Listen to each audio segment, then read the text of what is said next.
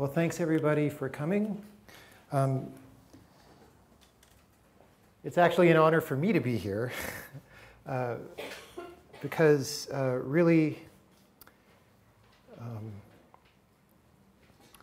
you know, I started uh, reading Calvino's work first when I was relatively young compared to now. Anyway, I was 17, I was in school, and it simultaneously resonated with the way that I thought, with my young personality, and it showed me uh, directions to go, or ways to think, or ways to be. And there's no possible way in a lecture of one hour, or of any length actually, that I will be able to do justice to his work, or you know, the subset of that, of, of the way that his work has spoken to me.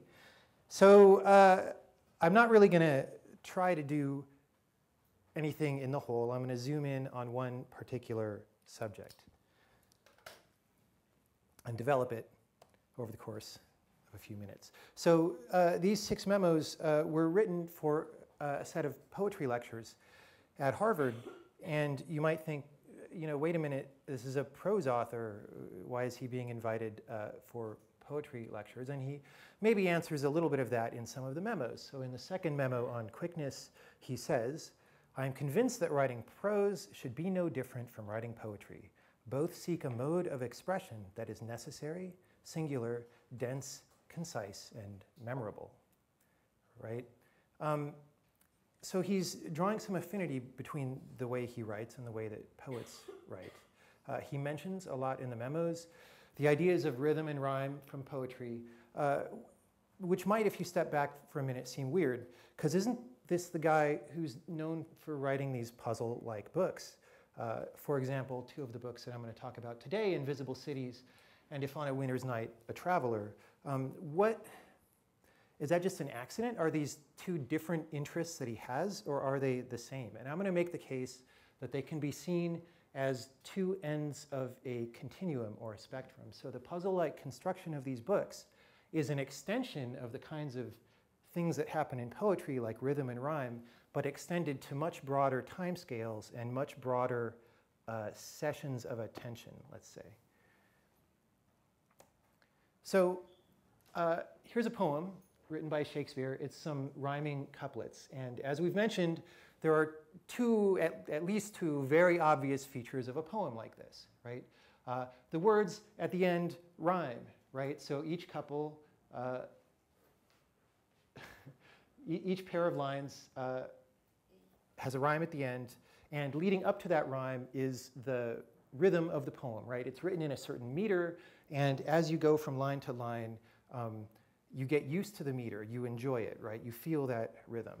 Um, so if you've uh, read a certain uh, rhyme at the end of a, of a line, you know that the upcoming line whatever the words are that are in that line, it's, it's going to rhyme. The end of it is going to rhyme with the word that you just read. But you don't know exactly how it's going to rhyme. If you did, it would be a really boring poem, right? You've probably read some poems like that where your brain knows what it's going to say before you get there, and those aren't considered to be the best poems. Um, so there's something happening here. Uh, I, will, I will frame it as uh, a creation of expectation. So when you get to a line in a poem that you know is going to rhyme with something later, it creates an expectation. There's something now in your mind, some syllable or some sound, that then is going to be satisfied later when you read the line that rhymes with that. And similarly with rhythm or meter, um, as you're continuing along in the pace of a poem, um, the um, there's an expectation that that rhythm will continue, right? That, that the momentum built up from that rhythm is going to continue. So there's two things happening here. There's a consistency of meter, and there's a variation of the specifics of exactly how it rhymes. Uh, this kind of idea happens all over the place in arts, for example, in music. You know, in music theory, you can learn all sorts of variants of this idea. Uh, the one diagrammed here is this idea of an antecedent consequent structure uh, wherein if you're, uh, say, writing a melody, then you intentionally craft a portion of the melody to feel incomplete or to feel that it requires resolution in some way. And then the consequent comes along and satisfies the expectation generated by the antecedent. And if you want to think of some example of that, then you could think of almost any song in the Western tradition. Uh, Jingle Bells, for example, is very definitely constructed that way. Um, in uh, the quickness essay, Calvino says, just as rhymes help mark the rhythm of poems and songs, events can rhyme in prose narratives. Now, why is that? Why, why does he say events can rhyme? Well, it's because when an event happens in a story, first of all, it's probably important or the author would have glossed over it, right? You, you have some trust that the author is only telling you things that are worth your attention.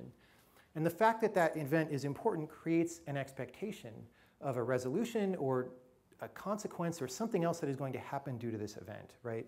Your attention is brought in and hopefully uh, not wasted. So here, again, he's talking about uh, manipulating story structure. He says, the art that allows Scheherazade to save her own life consists in knowing how to link one story to the other and also how to break off just at just the right time. Two operations on the continuity and discontinuity of time. It is a secret of rhythm, of mastering time that we can trace to its origins, to the effect of meter in epic verse, and to the effects in prose narrative that make us want to hear what happens next. So he mentions epic verse here, which is a little different than the kind of smaller poem that I talked about, but I think that's because epic verse is a storytelling tradition, right? But it's the same concept that these aspects of poetry uh, have an analog in aspects of prose fiction, right? About this feeling, you know, we're all, we're all familiar with the feeling in stories about like, I want to know what happens next, right? There's a momentum that happens there that is analogous to the kind of momentum that happens in poetry or music. So now that I've made that case, I'm going to jump away from it for a while, uh, apparently away, and we'll come back to it over the course of the talk. By the end, it'll be clear why I said all that stuff. But first, I want to talk about invisible cities and the puzzle-like construction uh, with which it is made. So what's this book like? What, you know, what's it like? You sit down, you open the book, and what happens? Well, you see this. It's a table of contents. And it doesn't look quite like most tables of contents that you see. I mean, there's some big chapter numbers, maybe. I guess that's what those are. And then, or, or, or section numbers, and then maybe chapter numbers. And they say things like cities in memory, cities in desire, but unlike most chapter titles, they repeat. And the first one repeats twice, so maybe that's not what they are.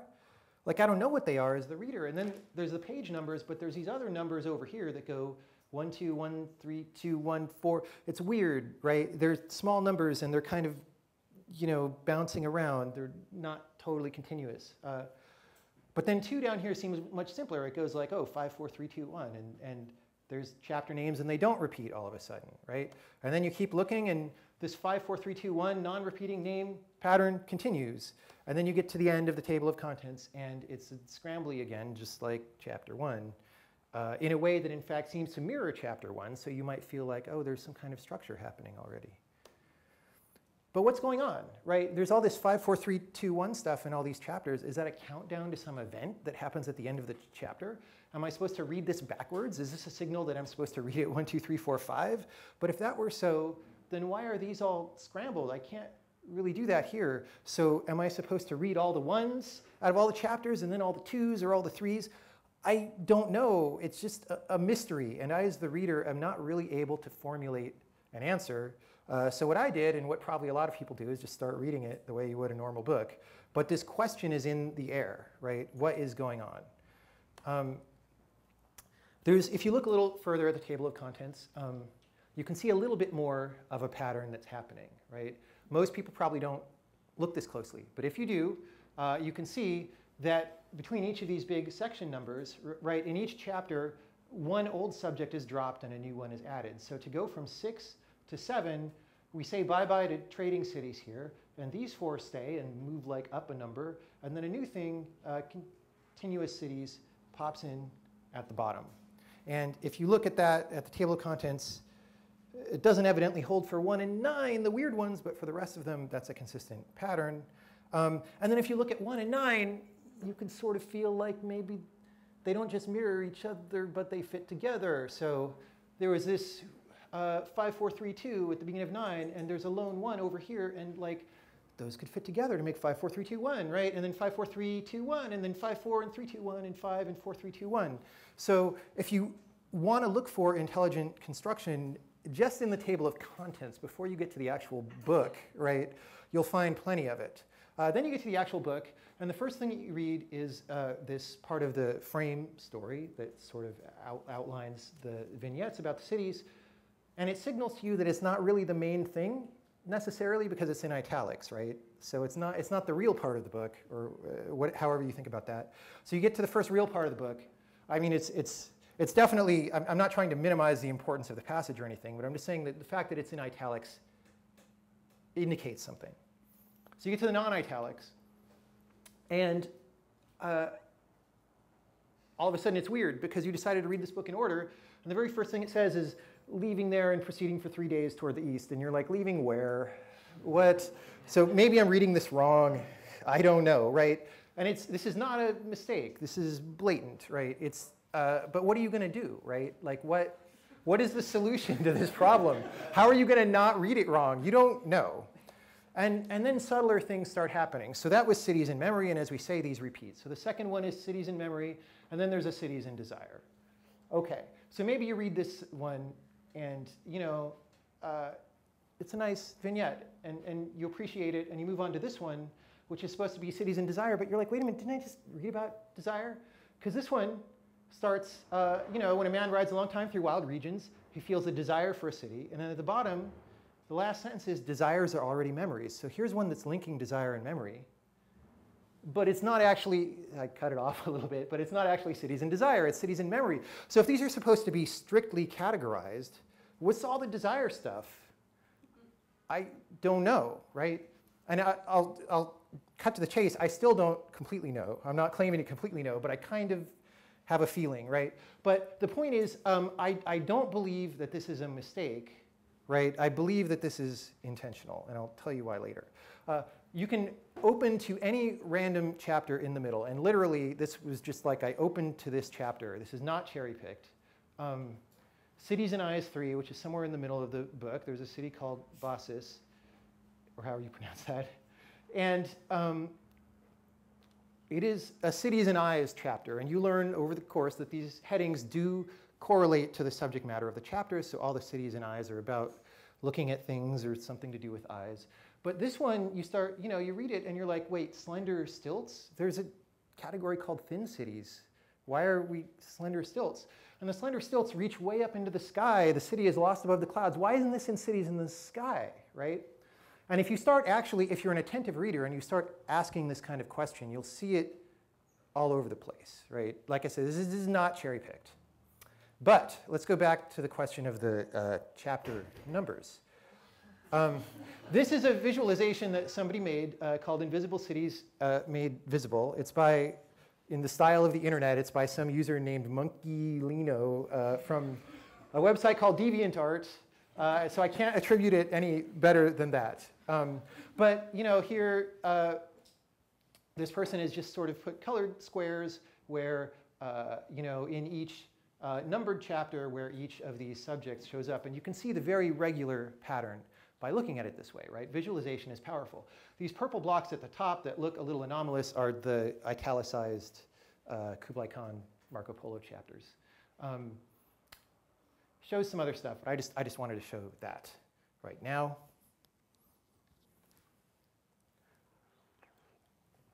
One thing you might notice, this visualization did not include it, but if you look at uh, the chapter 9 stuff and the chapter 1 stuff, remember we sort of thought maybe they fit together.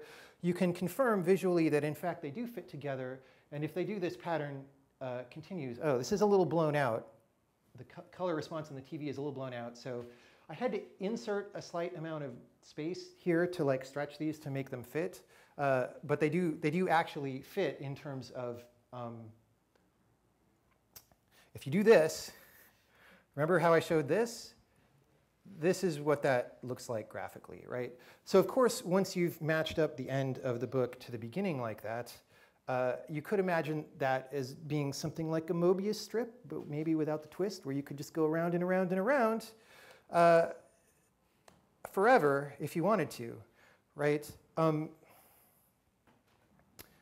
oh, I forgot to say something, which is just uh, if you think about this, if you look at this visualization and you think of these as like frames of a stop motion film or panels of a comic, you could almost get this visual of like a little five car caravan like traveling across the world. But what's the world in this case? It's this conceptual space of all these cities, right? So it's moving, you're like moving through the concepts as the book goes along. But of course, during the book, you don't have this overhead viewpoint, right? You're reading it. So you're like inside it. And so each little five chapter section is like a caravan moving along and one of the concepts is passed in the rearview mirror, right? And the new concept comes in from the front. Uh, so then you could think about this as circumnavigating the globe if you wanted to. Um, there's even more details if you start digging into it, right? So there's 11 of these chapters, cities in the dead, cities in the sky, and all that stuff. But there's only, or 11, I need to get my terminology consistent. 11 topics, cities in the dead, cities in the sky and stuff. And, but only nine of the big numbered chapters, but one and nine have 10 entries each, and the rest have five. So there's actually 11 sets of five cities and 11 topics. And if you wanted to try and think about why do some of the topics mix, you could imagine doing some kind of exercise where you have 11 topics along the top and 11 uh, sets of five along the down, and you mix together uh, you mix together each of these with, well, I should have made a slide. But anyway, you can imagine some uh, exercise where you do that. Um, now, when I do that particular thing that I just sort of haphazardly mentioned, I can't convince myself that that's the right answer. It doesn't totally work out.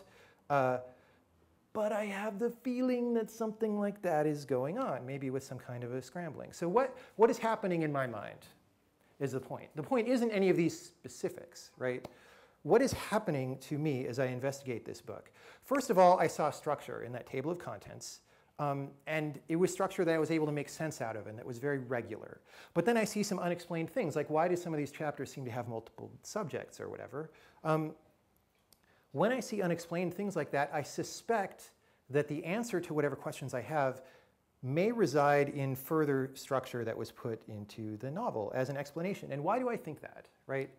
Um, well, because structure has already been demonstrated, right? Because the author has me in good hands in that sense. I feel like this is a thing that's been carefully thought out and systemic, right? If instead you pick up a copy of the daily newspaper and you start looking for patterns between all the articles, right, you're like a crazy conspiracy theorist or something. Um, but it is different, right? Because a certain, uh, a certain style of things having a meaning has been established, right? The numbers next to the chapters are not a coincidence, right? You may or may not, at some point you may get into things that have no visibility into you as a reader, but it's expected that they're not a coincidence, right? And you can go further and further, like what are some other sources of potential patterns? Every city has a name and that's very conspicuous and I don't know what the pattern is, but I suspect there is one, even if it's only personal to the author. By the way, if all this is actually documented somewhere, uh, then I'll sound really dumb saying I don't know, but I, this is my experience as the reader that I'm going to uh, relate. Uh, but I suspect it's not because most writing that I read on these books doesn't seem to dig very far into these topics. Uh, I could be wrong. Um, is there a pattern to these concepts? Like these are all kind of weird and heterogeneous. Like it's sort of cities and things, but then it's like sin cities, thin cities, right? Uh, where are these completely arbitrary? That would seem weird given the regularity of the rest of the book. Where do they come from, right? I I don't know, but I suspect there's something there. Um, is there a pattern to the way the stories are told? Like some of them start out with navigation instructions, and you see that often enough that you suspect that something's going on, right? Some start with addressing the listener or the reader directly. Some, a lot of them have a concept of inversion or duality in it. And by the time you get to the book, you might just think, oh, Calvino really likes inversion and duality, which might be true, or it might be that that was a rule in some generative system that he used, right? Um, now, to, to recap the point of all that, it's that the strength and consistency of the obvious patterns gives me faith that subtler patterns may be really there. Maybe not. right? I may be, the human mind has a great uh, capacity for uh, finding, seeking and finding patterns. But I have a strong reason to believe that attention in looking for future patterns is warranted. And I said six, consistency here, because consistency was to be the topic of the sixth memo. And I cannot pretend to have any idea what he would have uh, said in that memo. Um, but I do know that this is a very important um, foundational idea in what I learned from him through osmosis by reading his books. So I'm going to revisit this a lot over the rest of this talk, even though we have nothing to quote to pull from. Um, anyway, so the book earned my trust, right? And, and I feel like energy that I invest in looking for patterns may be warranted. And so the way that I'm going to describe visual, uh, in, invisible cities as some kind of visual image is as a crystal, right, the tip of which we can see very clearly because it's displayed as the table of contents and stuff. But I don't, I can't see the entire structure, right? The crystal kind of recedes into shadow and there's some stuff that I don't know. And maybe some people know more than me, but I suspect that many readers know less than me, right? I'm in the middle somewhere. Um, now, when we're thinking about a work like this, we might presume there are two distinct mental phases that people go through. One, the initial phase, I'm new to the work and I'm noticing clues of this structure and it builds anticipation in my mind and I'm starting to connect the dots. And then two is some kind of angelic, like I've figured everything out and I'm up in heaven and I appreciate the final jewel-like structure, right? And I understand everything. And I think very few, if no readers actually reach phase two with this book, and I think it's not intended, right? So the real state is some one and a half somewhere that you have some appreciation of a partially understood clue structure, and you're wondering about its extension into the mystery that you don't see. And that is your experience of the book. Um, and I think that's a very powerful way to shape an experience. Now, you can do this wrong. Um, you can do this in a way that uh, abuses your audience, right? Um, if you create the feeling of some grand mystery and then you can't actually back it up in the end, then you're a little bit being abusive or callous. You're certainly not having a close relationship with your audience. You're trying to fool them in some sense, right? And that's not very good. But if you do it the right way, or a, if, you, if you can back up the mystery that you lay out, then that searching for solutions and that yearning for mystery is another um, thing that can help bind the work together, right? It's another style of wanting to know what happens next or rhyming in poetry or something like that, but it's not quite in the same direction as those other two things. It's not as temporally bound. And that non-temporalness of it is very interesting to those of us in games, especially who are trying to build nonlinear games. Okay. Let's talk about another book, If on a Winter's Night a Traveler, uh, which I deeply love this book. I deeply love the other book too. Um, the title is amazing, but we're not going to dwell on that. Okay, we're going to talk about uh, the basic pattern. Uh, the most, we're going to talk about a lot of patterns that happen in this book, but we'll start with the most basic one. The basic conceit, which is this pattern of interrupted novels. Uh, for anyone who hasn't read this or who hasn't read it in a long time, uh, what happens is uh, there's a little bit of a frame story around an introduction where you get ready to read a novel, and then you get ready to read. It, it starts uh, describing this novel, If on a Winter's Night a Traveler. Uh, you are identified with the protagonist, so the protagonist is you, the reader, and then as soon as you finish the first chapter of the novel, it turns out that the rest of the novel uh, is ruined and you can't read it, and you have to go try and get another copy, and in the process of getting another copy, uh, you actually get tricked and you end up reading a different novel. And this happens over and over, right? So there's a frame story, there's a chapter of a novel, we go back to a frame story, there's a chapter of another novel, and so on for 10 fictional novels, right? Um, and all this happens in sequence in the book, a very clear, clearly defined sequence, unlike uh, Invisible Cities. Uh, I'm going to draw this, though, as a sort of a main sequence and a background sequence. So I'm going to draw the novels this way, and I'm going to draw the frame story sort of in the background. And why I'm doing that, you'll see later. Anyway, so, but this is a very prominent pattern that happens. You get into this rhythm, right? You start reading, uh, oh, I'm in chapter of this, by the time it happens, it, uh, so, so first, the first thing that may happen is you read the back of the dust jacket and you're spoiled on this whole concept, right? Which thanks publishers for doing that, right? But assuming that didn't happen, then somewhere around two or three, you get the idea, right? By the time you're about to finish leaning from a steep slope, you're like, okay, something's going to happen it's going to cut off.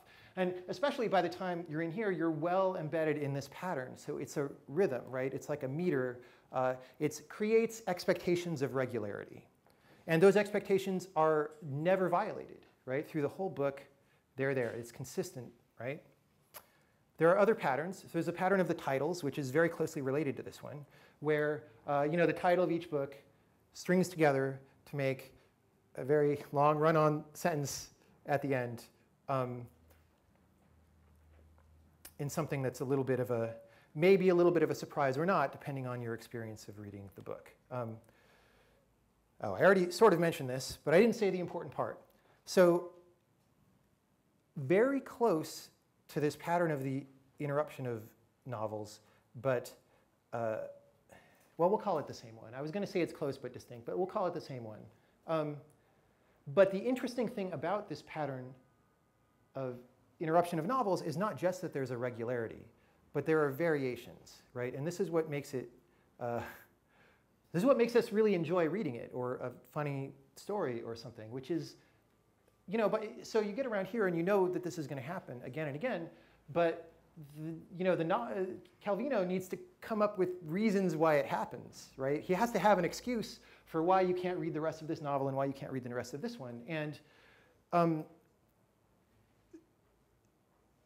you, so, so, not only do you have an expectation that you're going to be cut off, but you're wondering, uh, I wonder how I'm going to be cut off this time, right? I wonder what the next thing is going to be. And as you start reading the frame story, you're like, oh, oh, that was a funny one or whatever, right? Exactly in the way if you have a poem, you know what sound, what syllable it's going to rhyme with, but you don't know how yet, right? It's the same kind of expectation. So how will, be, how will the novel be interrupted this time is a pattern of expectation and satisfaction that happens over the course of this book. There's a pattern of Ludmila's introductions, um, which is slightly more subtle, but not really. I think basically everyone who reads this book notices this, where uh, there's a very prominent character in the book who is present throughout the frame story, and uh, well, except for the very first one where you haven't met her yet. Um, but she has seemingly magical properties. So for example, she'll express what kind of book that she wants to read, and then somehow either that calls into being or in some way is magically related to whatever the next book happens to be because it satisfies what she's interested in. Um, in the beginning of the book, these are relatively straightforward. Like, oh, you know, she says something like, the book I would like to read now is a novel in which you sense the story arriving like still vague thunder, the historical story along with the individual story, and so on and so on, right? But a funny thing happens, okay? Um, you set up this pattern just like all the other patterns. And as the reader, you're expecting it. And frankly, I, I personally enjoyed this very much because I like her character and I always, I always look forward to this paragraph. I like it. And then something happens where uh, the book sort of forcibly separates the protagonist and Ludmila. So she's not even really in the story anymore. She's, she is a very important character, but she becomes magically pervasively in the background rather than being a foreground character that's with the narrator, right? And in your mind, this presents a problem like, how's she going to do this anymore? How's she going to satisfy this pattern that's been set up? And it just gets funnier and funnier, I think, or, or interestinger and interestinger because you have this expectation that this will happen and it keeps happening, but it keeps happening in um, through variations that have to stretch to make it happen. So for example, there's a character called Corinna who is not stated to be exactly the same as Ludmila's sister who you were introduced with earlier, but is in some way or another, right? Um, both characters, I don't know, I'm, I'm not a fiction person at heart, but both characters have taken on by this point some kind of magical larger than life existence, we'll say. And, and so it's not too surprising that her sister might be some chimeric being, right? Uh, that, whatever, I won't. anyway, the, the protagonist is trying to pin down the identity of this person and asks, hey, do you have a sister? And she says, yes, I do have a sister. My sister says she loves novels where you feel an elemental strength, primordial telluric. That's exactly what she says, telluric. And it's very funny, right? And um, it's just a wonderful, it's a wonderful thing that he starts doing about completing, uh, completing this sequence in which, it's almost like you know, you're, you're watching circus acts or something, and they start doing things that are very impressive, right? Um, and the, the impressiveness of it, you know, the fact that the guy's doing a flip is part of what makes it enjoyable, right? The fact that these variations start doing flips or whatever is part of what makes them enjoyable.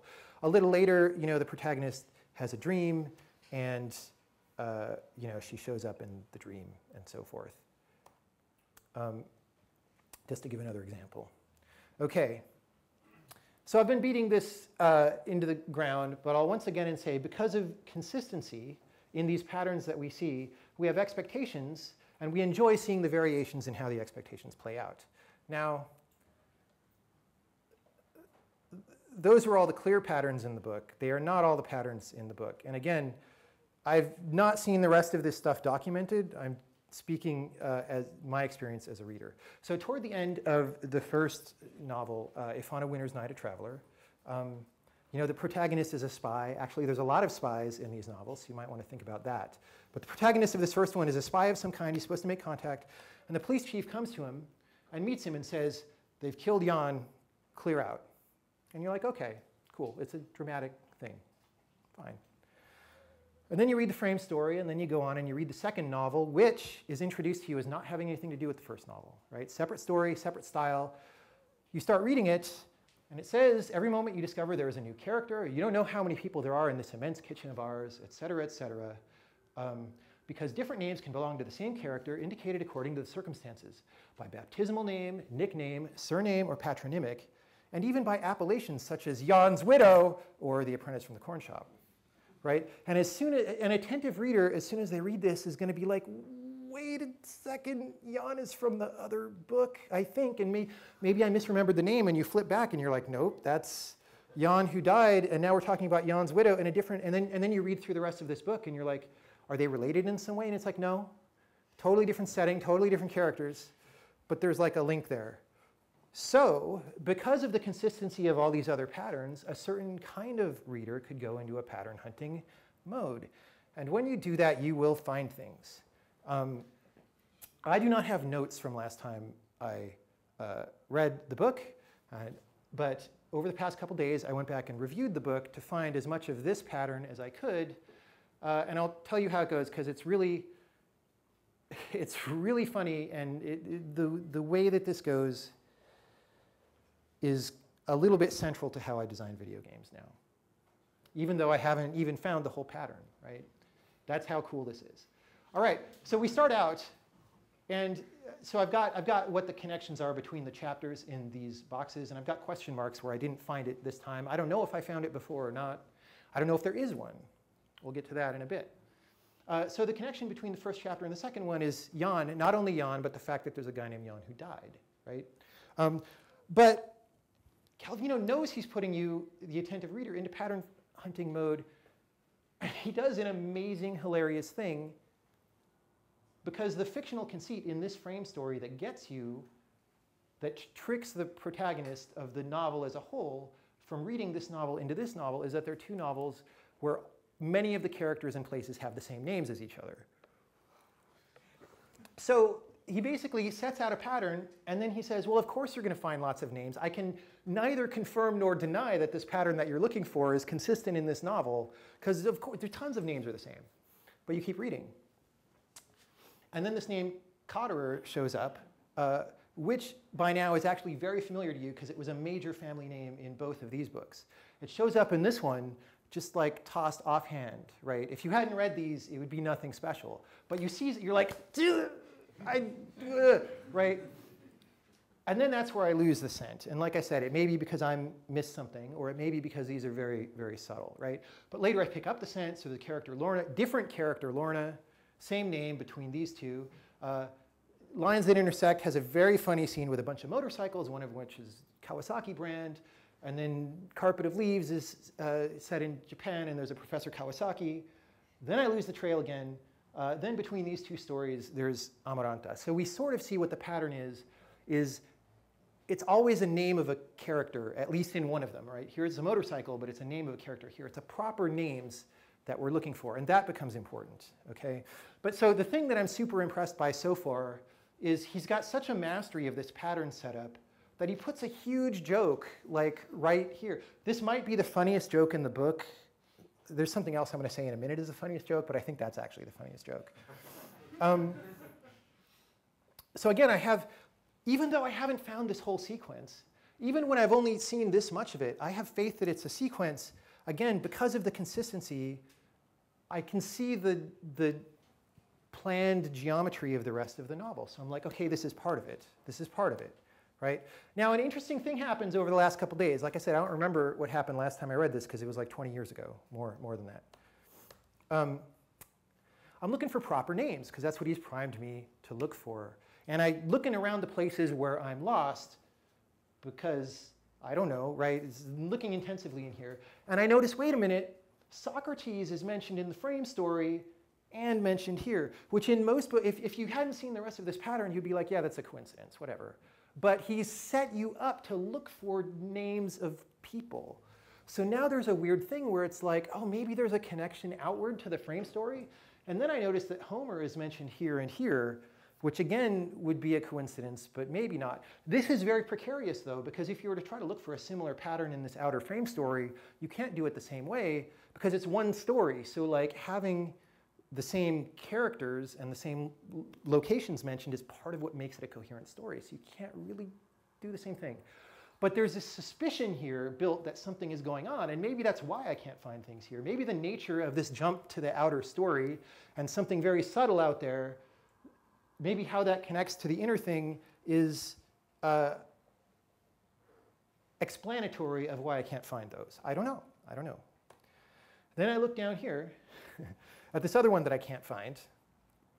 And again, we see something that would be very easily uh, described as a coincidence or a non-pattern most of the time, but now I'm not sure about. And I'm not saying this is the connection.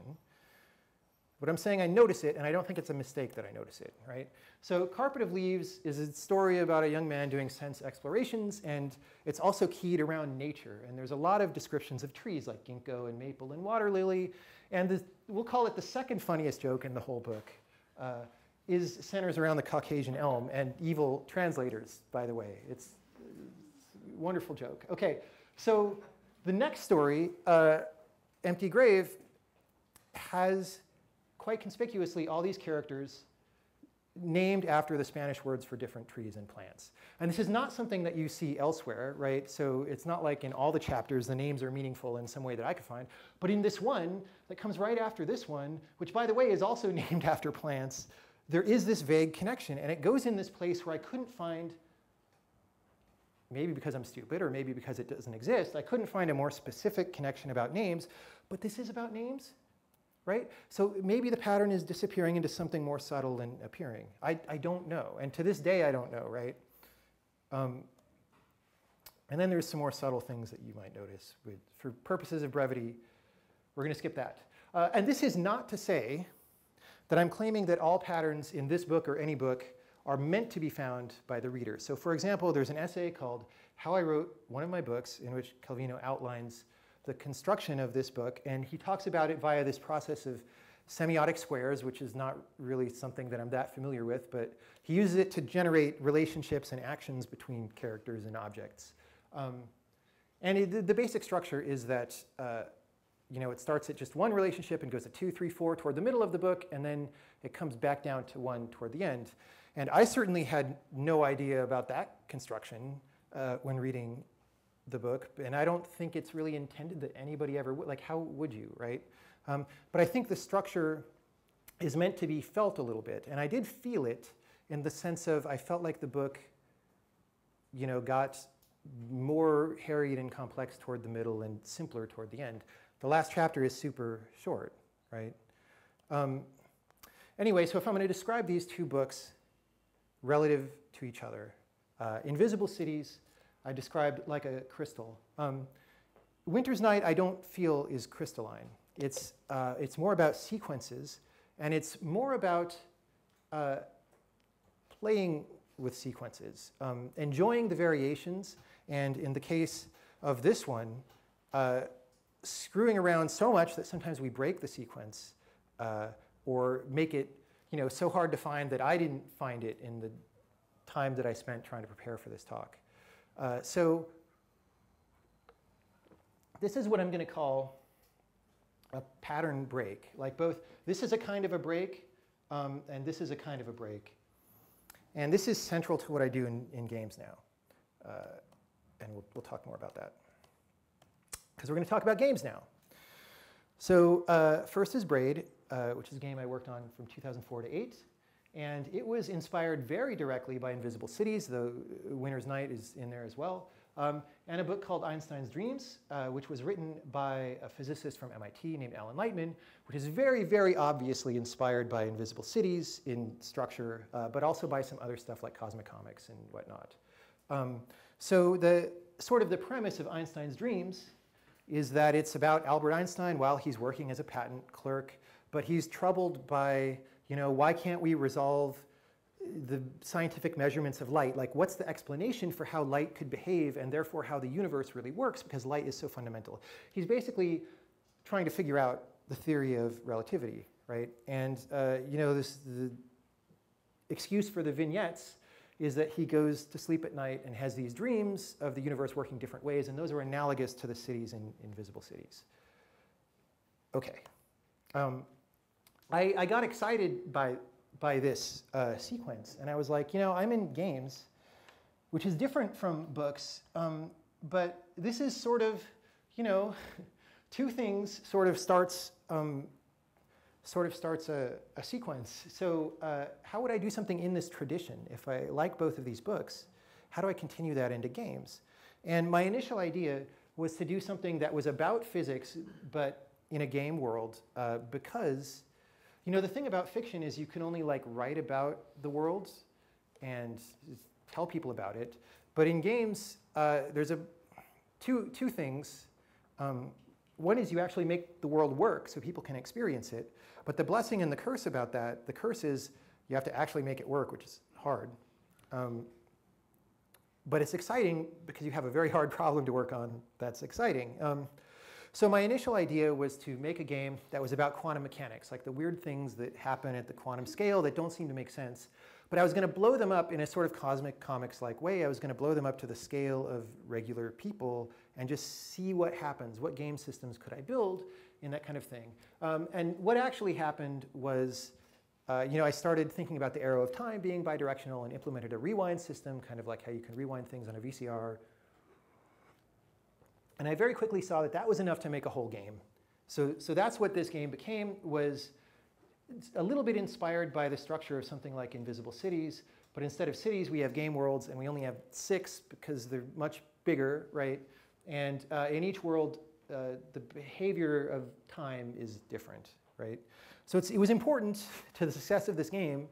You know, there's a difference between in, in being inspired by and copying, right? If you try to copy the structure of something like Invisible Cities, you're just going to destroy yourself because your thing is not going to fit that structure. So it was about being inspired by that structure and seeing what could echo that but could fit this new thing that I'm trying to do.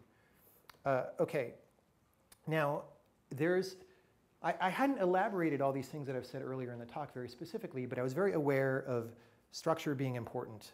So there's six worlds, right? They all have different visual schemes. They're color coded.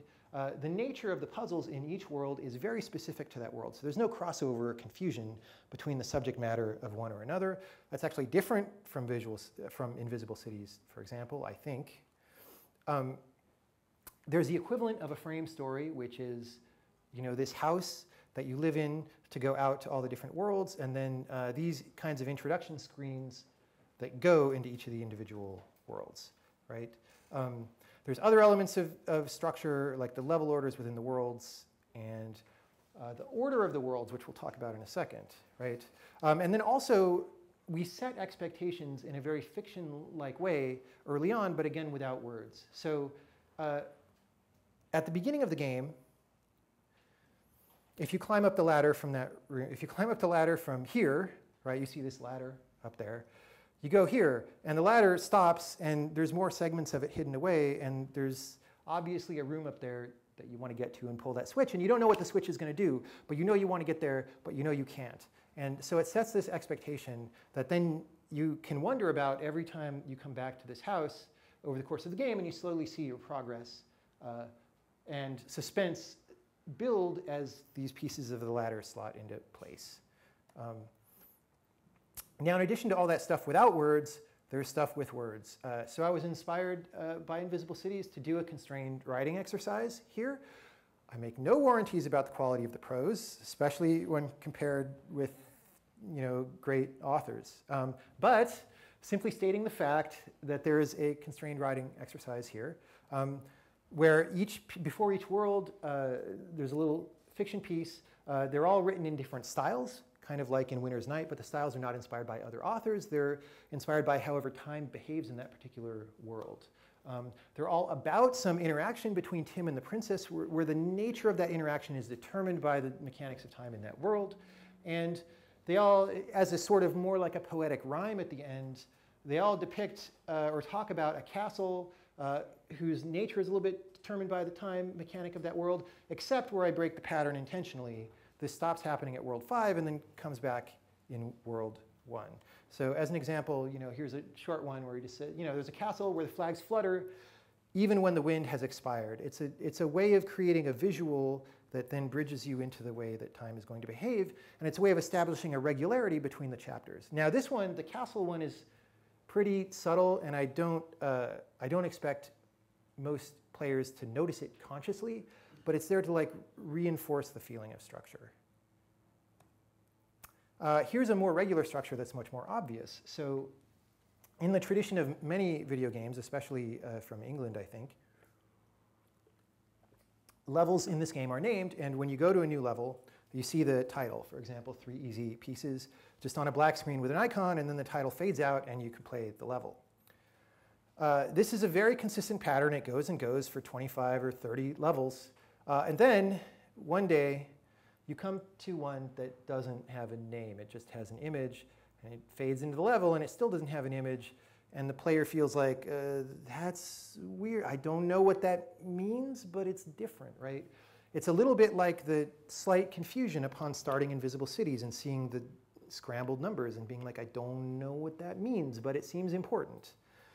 Um, uh, from my side, as the author, what happened was um, I felt like the solution to this puzzle had a little bit of gravitas to it, and I didn't want to spoil it by uh, giving the level a cutesy name, like a lot of the other levels. And the idea just came like, okay, we can, we can do a sequence break here, and uh,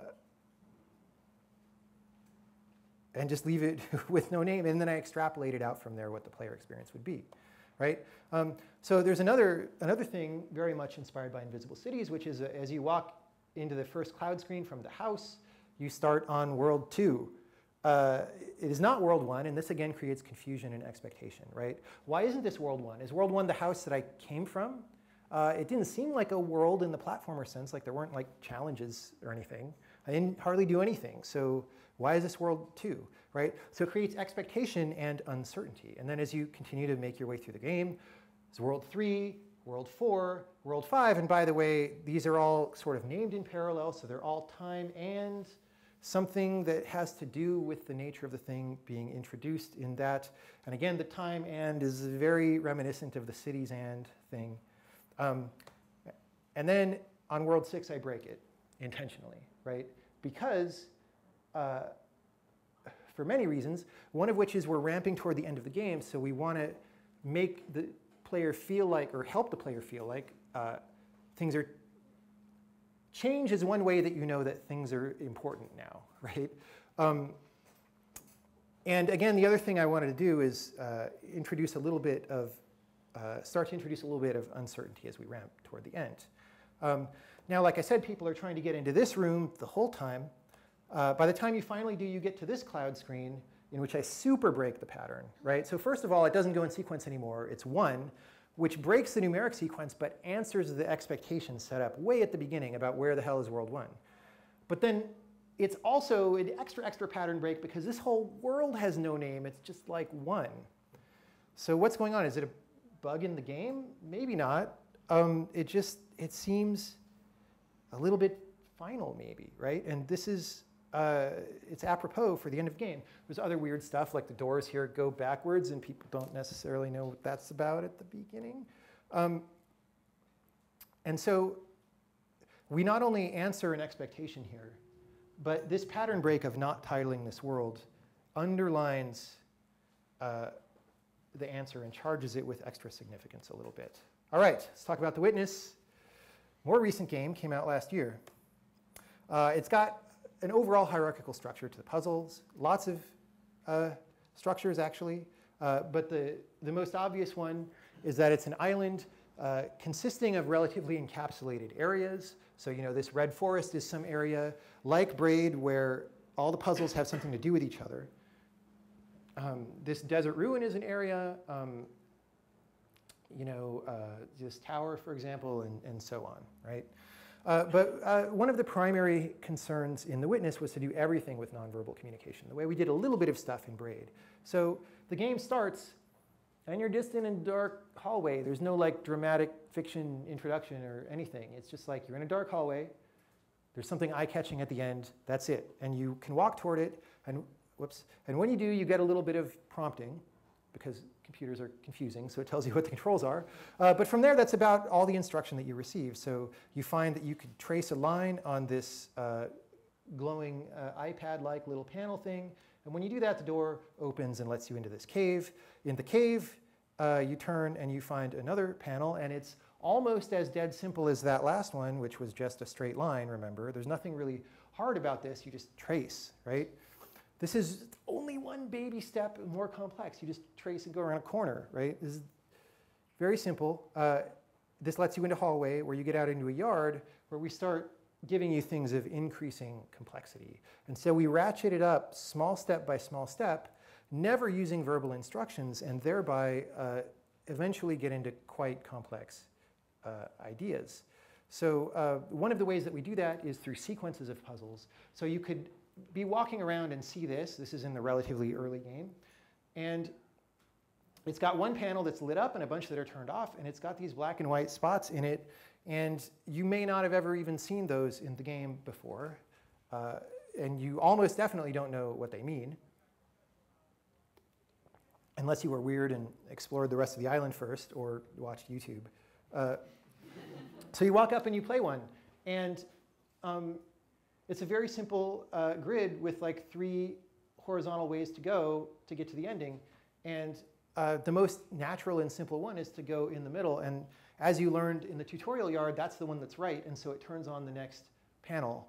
And that's it for that panel. Uh, the next panel is basically the same thing, but with a slight complication. You start in the corners, and that means that the thing that you have to draw to solve this is more like a zigzaggy thing, but it's still just as simple. And most people get that right away. Um, then we start building the concept, right? So, oh, by the way, there can be more than one uh, black spot. What do you do? You know, and uh, eventually, we end up doing something that's like a nonverbal paragraph made out of nonverbal sentences, right?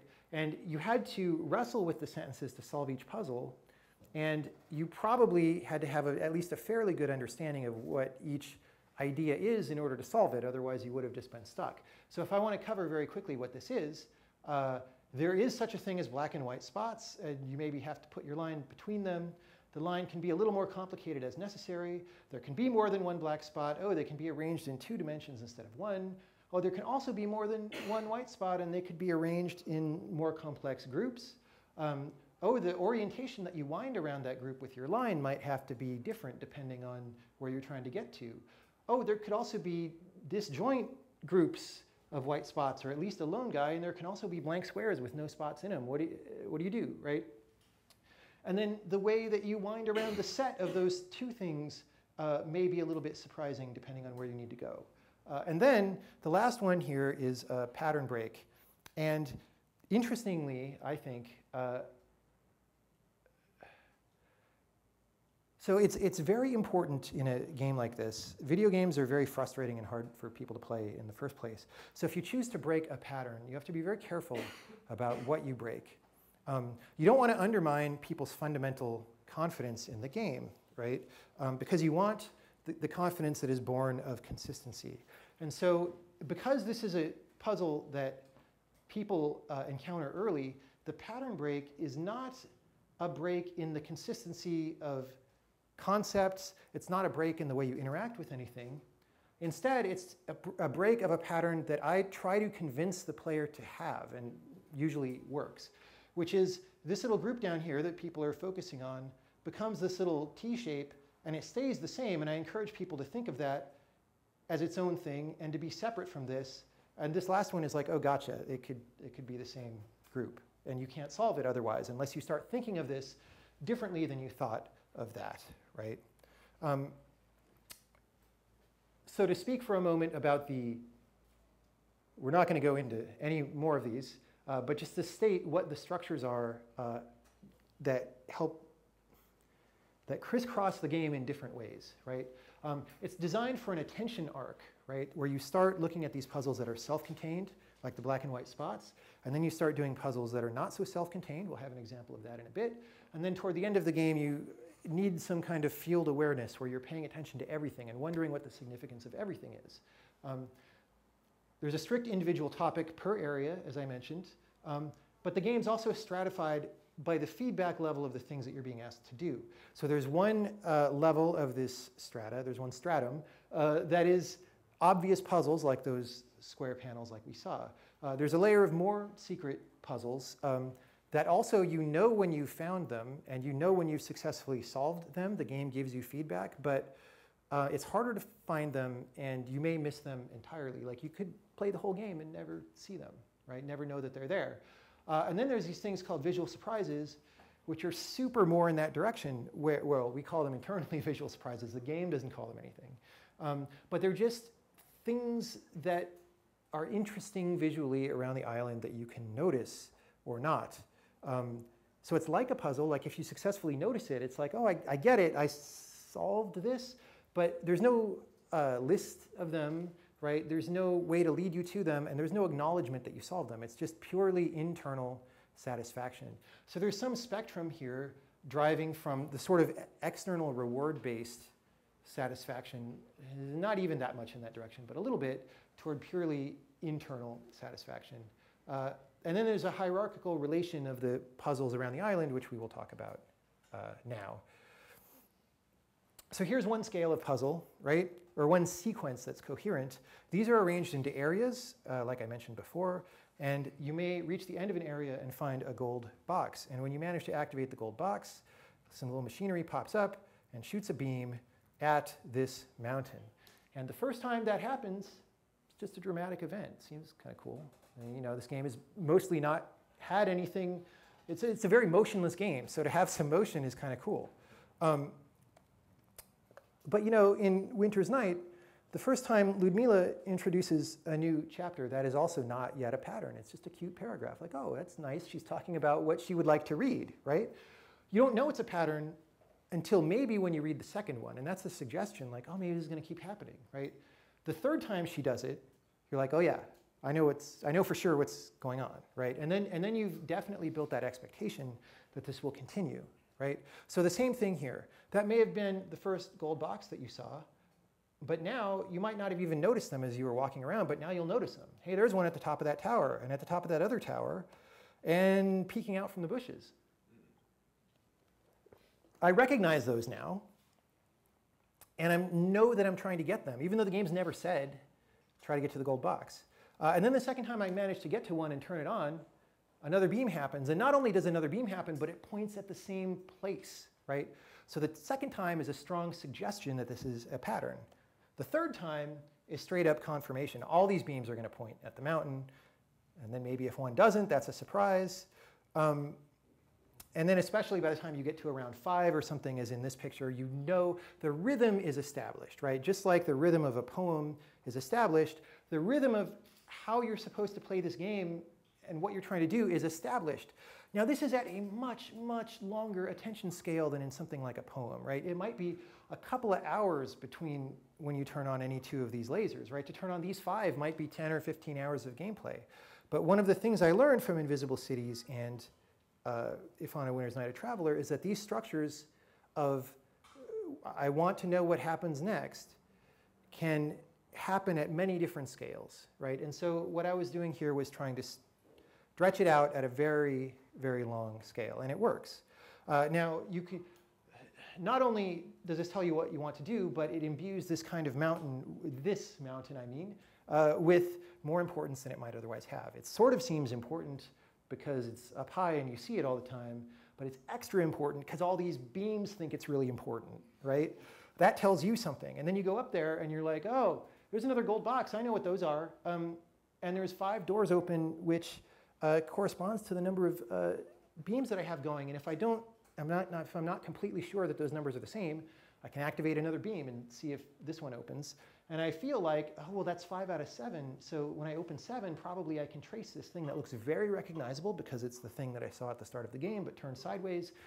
And then something cool is going to happen, right? So it's like that thing in Braid, but it stretched out at a much longer uh, time scale and requires more active exploration because you have to hike up to this mountain to see this stuff. But this establishes a regularity over a long time. There's the regularity of those sequences of puzzles and the regularity of the beams. And that consistency, just like I was talking about my reading experience of Invisible Cities and uh, Winter's Night, that consistency can lead you to think about other things that you saw. So for example, man, I was playing this game and I saw these ominous black obelisks around and they seem important. That seems like it's supposed to be something, but it's just this inert thing. Like what, what is the pattern that explains these things? Maybe I can figure it out somehow. I, I don't know yet, right? It's a mystery that's been set up. There's an expectation now that if I look hard enough, I will find the answer to what this is. If you think about it consciously, and not all players will think about that so consciously. But even if you don't realize it, it's, it's a tenet of my design that these things still dwell in, in the subconscious and create a stronger experience. Um, another thing, what, what's the deal with that very obvious cloud that looks stormy, but all the other clouds are bright and white. Like, what is that? What does that mean? Is it a bug in the game? Well, probably not, because I see all these other patterns, and everything else that I've run into has eventually proved to be meaningful. So maybe this is meaningful also, right? I don't know why, but, but I believe that it is because the game has, has uh, lived up to lived up to its promises of other similar things having meaning, right? And so, you know, if, if this happened in a game without patterns, it would just be a random thing. It wouldn't necessarily inspire investigation very much, right? So, uh, coming around to the end, I want to go back to quoting Calvino for a minute um, to explain why all this makes sense. He says, again in Memo 2, we might say that as soon as an object appears in a narrative, it becomes charged with special force, becomes like the pole in a magnetic field or a node in an invisible network of relations. The object's symbolic value can be explicit or not, but it is always present. We might even say that any object in a narrative is a magic object. That last sentence, when I read it, I was like, wow, that's exactly, makes a lot of sense. The thing that makes fiction work, except for certain kinds of very recent fiction is that the author isn't like wasting your time, you know? Like they're, the, I mean, you know, there are books that are like trying to be unreadable. I don't know if you've ever read one of those. Like that, that, that's their explicit goal. It's very postmodern. Um, so, right, because that's the central, uh, it's like the underlying contract of fiction is that the author's telling you this because it's worth your time, right? And because then things are worth your time, when you see something, it's probably important. And, and that's what he's talking about here, that any object in a narrative is a magic object. Um, and so that's what this cloud is, right? It's a magic object. You see it, and it takes your attention and makes a promise that this will be resolved in a way that makes sense, right? Same with these black uh, obelisks, right? They're magic objects in that sense. So then the, the last thing to maybe say about this, well, two things. So the Witness is a pretty big game, and it has six or 700 like what I'll call for now puzzle units, where a lot of them are like those little puzzle panels, but not, not all of them. Um, and each one of those has its own idea, and those ideas can form sequences like the one I showed with the black and white spots. And those sequences, right, make patterns of uh, elaboration on more and more complex ideas. But what I do very often in this game is break the sequence uh, in different ways all the time, right? Um, and that break creates surprise. Um, even before the sequence is broken, or if you don't get to the sequence break because it's too hard or something, um, you still have this uh, enjoyment of the sequence that you can have in music or poetry of variations, right? I don't know how it's going to rhyme, but I know that it will. Uh, and then I enjoy seeing how it's going to rhyme. I don't know how Ludmilla is going to manage to be there to introduce this next chapter, but I know that she will, and so I enjoy seeing how it happens. Um, here's an example of another sequence break that I'm just going to explain. Total spoiler, but hopefully people have played. Um, there's a sequence of puzzles in which there's not information on the tree uh, or on the panel to give you the answer, but there's like some trees in the background and the environment around you that somehow give you the answer, and they do it uh, by the position of this apple being key. And so you go through these variations of you know, the tree having different aspects, or you have to see it in a slightly different way every time. But the apple is always there telling you the answer, and your goal is look for the apple, figure out how that corresponds to this puzzle panel, and then I've solved it. And then there's four trees or five like that. I think there were five, and then I cut it, so it's probably four. But whatever it is, the last tree in this sequence um, breaks the sequence because there's no apple. So like the thing that you've been focusing on, this very red, shiny, attention-grabbing object that you've been focusing on is gone, right? But the answer to the puzzle is consistent with some things that were in the earlier puzzles that you probably didn't notice, right? Um, but sequence breaks are delicate, right? So, so when you break a sequence like that or break a pattern, you must not violate the player's trust. And you know, one way you can do that is just by not, not being cheap, right? Use your, use your subjective guidance. But there's something also in the memos that strikes me as really relevant. And uh, this is actually Calvino talking about the writing process. He's talking about Mercury's time and Vulcan's time. Um, and he says, you know, to paraphrase, his process involves a really long time of apparently not being very productive. Uh, but then at the end, there can be a flash of insight that immediately takes on the finality of that which was inevitable, right? And this kind of epiphany in, in the memos is part of what makes this working schedule uh, what it is. Um, but part of my MO in making games now is something like this, um, having this kind of experience as an author and then illustrating that experience for the players so that they have a similar experience, right? So they can feel this little miniature kind of epiphany. Um, and then, because the epiphanies in this game are about things that occur in the real world, like structure of things like trees or light and shadow and colors, um, then you can think about those epiphanies or be reminded of them as you walk around in the real world, and maybe they can rub off a little bit um, on the flavor of the way that you see the real world. Uh, now, the last thing to say is that with 600 plus little sentences, um, you can make a lot of patterns. And that means you can break a lot of patterns in surprising ways. And you can do so many, right? The Witness is such a big game that if you play the whole thing, you come upon a second order consistency, right? The first order consistency is the regularity of these puzzles and the structure of the laser beams and all that. The second order consistency is that you experience so many of these sequence breaks or surprises um, that that comes to define the feel of the game. And it's why it feels different from many other puzzle games, right? So just like in a poem, the player expects to be surprised, but doesn't know how he's going to be surprised. Uh, that's it. We've gone on too long. I will say one other topic. I, can, like I said, I never can do justice to how much influence Calvino's work uh, has had on the way I think and behave now. Uh, one completely other topic that I was going to talk about had to do with The Non-Existent Knight and Discovery of the Birds, which is a short story in Cosmicomics, and uh, using a metaphor to set up a transcendent leap, um, which I think is very important. It's probably more important than what I talked about today even, but I, I couldn't do it and I especially couldn't do both. I'm gonna record this at home at some point and put it up on YouTube. Uh, and uh, that's it. So uh, thank you for your time.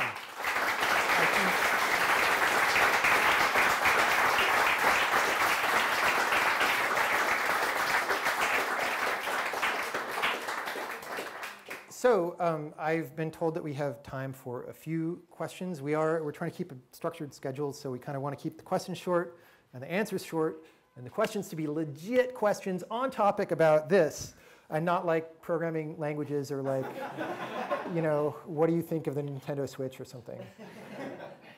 Uh, so anyone, yeah, over here.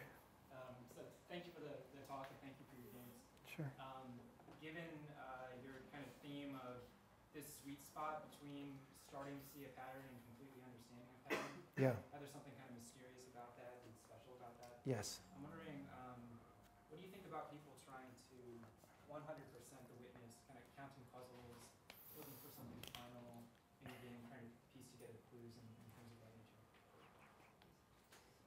Well, it's the natural extension of that drive, right? On the one hand, and and it's great. I mean, I'm, so that's a wonderful thing because on the other hand, uh, it could be that you release the game and not enough people really care to get that far even. So, so that's great. Um, I think we're in a different environment now too. This is like a new thing that people are able to communicate enough to like go on the internet and form groups of mutual interests that can do this. So I, I feel like if Invisible Cities had been released, I mean, if the internet had existed back then, people probably wouldn't have the attention span to read something like that anyway. But um, if you can make that mental uh, association, I feel like it's that kind of thing also where, you know, I think most people who read Invisible Cities probably don't go that far into trying to like decrypt it. But I think a small number of people would, you know, get together on the internet and really try to do everything, right? Um, but that's why, though, you know, the, the, the witness, for example, never tells you 100% complete right? And it never, you know, for example, with these, I'm not going to, it's 100 slides ago or something, but with the visual things that we put in the world, there's not a definitive list of those, and you can't ever know if you've understood them. And even if you have understood them, then for sure you're never going to understand all the ramifications of the audio recordings that are in the game, because I don't even completely, right? The reason all that material interests me is I haven't personally come to the end of it, right? And so it's designed in some sense that it's not completely possible to come to the end of it. And that's my way of dealing with that. I thought a great deal about this, you know, and so for the middle, I, I mean, I've said so many spoilers, but for the kind of secret puzzles that I didn't really say that much about, um, uh, I thought a lot about how easy should I make it to find those because people have a completionist urge. Uh, so you don't want to waste their time. You want to be nice to people, and you don't want to have to make them scour every corner of a world because something might be there. I actually I did that in Braid, but that's a much smaller world, you know, and it is sort of conceived as a more hardcore thing. Uh, whereas this is, um, I wanted to be nicer to people, and also 3D. It's just so it's so easy to be cheap in 3D. You could have made something small, like bug-sized, hidden in a crack somewhere that looks like a rendering glitch, and like surprise, you're supposed to see that. So there's a, there's a great deal of delicacy that comes into determining these things. And all I can say is I thought very hard about it, about both making the things that I was asking people to be find, to find to be worth their attention, and also making sure you could never come to the end of the game as a whole. Okay. Uh, I don't know. How do you, how do you pick? Um, let's go. I'm not wearing my glasses, but back back here. Yeah.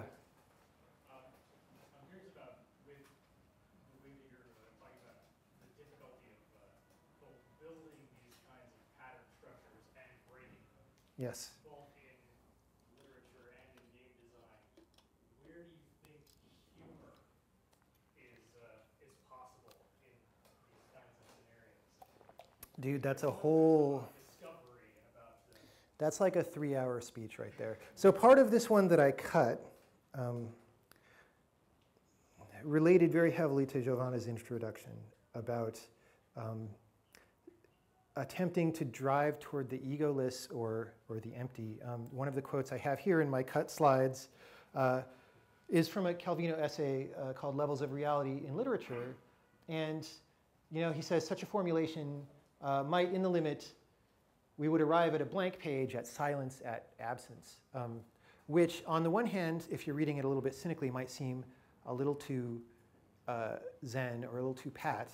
Um, but I understand what he's getting at because it's, it's magical, you know. Um, absence, when you can manage to do something eliminatively and more silently, um, then amazing things happen. So uh, why does this? It goes out of slide presentation mode if you go to the end. It's like the worst design software. Anyway, so forget it. Um, so uh, amazing things happen. So you know the, the two pattern breaks that I talked about in Braid go in the direction of silence by eliminating names. They don't break by doing something else, right? By having the title in purple or rendered with like stylized computer glitch or something, right? Um, although we do something like that elsewhere. Uh, but uh, in, in those particular cases, it's because there's some kind of a magic and a, in, the, in this case, according to my sensibilities, a gravitas that was gained in those situations. But another thing that can happen that's not gravitas is you can go in the other direction and you can get humor. You can get spontaneous humor that just erupts from nowhere that you understand, right? Um, and I think if we're going to talk about something for this millennium, uh, aside from all the, all the reading material we've already been get, given, there's a very interesting thing, uh, interesting task in art about getting closer to silence, which involves egolessness, right? Because your ego is basically a voice in your head that does not want silence, right? It wants the opposite of silence. It wants to be talking at you all the time. And so um, getting closer to that and just seeing what it's like and seeing what happens. Um, so humor, I mean, I'm, I'm, too tired to think of explicit examples in The Witness, but there's some stuff, actually I can think of some examples. I don't have slides, but there's, there's jokes in The Witness. Um, and th there are professional comedians, uh, like I was talking to Adam, Adam Conover on his podcast, who makes his living as a funny person, and he called those out as jokes so he recognized them as not just humor, right, as something funny, but a joke. A joke is like linguistic telling of humor, right? Um, but in a nonverbal situation. And we're not going to, we're, we're out of time, so we're not going to say what those are, but maybe, maybe during wine or something. Last question. Uh, you raised your hand first. You were very energetic, but he, he raised it first. Um, so uh, so I spent a lot of time studying uh, poets like John Donne, for example, and all my professors focus on how these kind of these puzzles and these linguistic games that he plays um, relates to meaning, and I feel like there, there there's an analog there with Calvino as well.